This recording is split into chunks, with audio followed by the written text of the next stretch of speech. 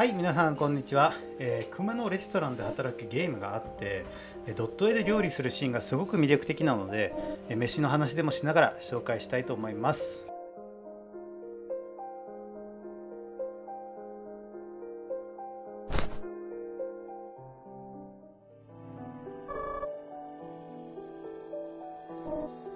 はいまずはミートソースのスパゲッティいきましたね。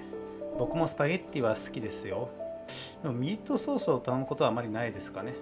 パスタは魚介系がうまいと思ってます。ボンゴレとかタラコとか。ちなみにオランダ人はフォークで麺を細かく切ってから食べる人が多いけどこれは絶対に許せないですね個人的に。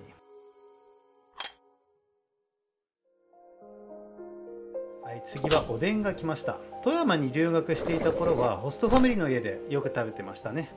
16歳ぐらいの頃ですかね。これはカップヌードルですね。あんまり食べない方がいいかな。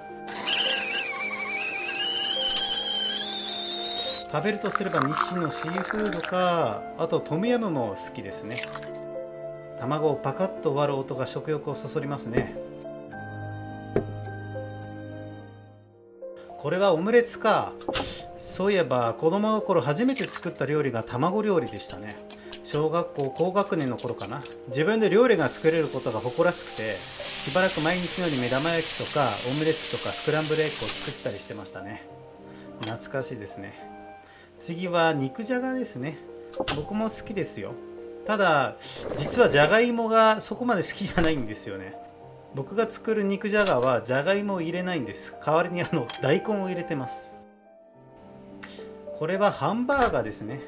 ハンバーガーは正直言ってあんまりこだわりがないです。嫌いでも好きでもない感じですかね。あでも横須賀のドブ板にあるハニービーという店はうまかったですね。はい猫がオレンジを切ってます。そういえば僕の知り合いであの35歳で初めてオレンジを食べてその感想動画を撮ったやつがいました。ありえないでしょ。フルーツは皆さんたくさん食べましょうね。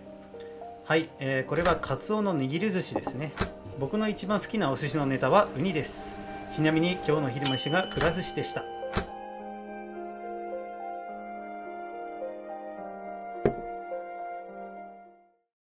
さあそろそろ猫ちゃんも寝る時間ですね、えー、僕の今日の晩飯は冷やし中華です。トマト、きゅうり、卵、ハムのオーソドックスなやつですね。皆さんの好きなご飯もコメント欄で教えてくださいね。それじゃあ。